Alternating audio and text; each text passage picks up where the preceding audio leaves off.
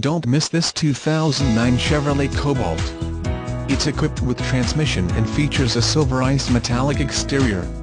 With 60-10 miles, you'll want to take this car home. Make a great choice today.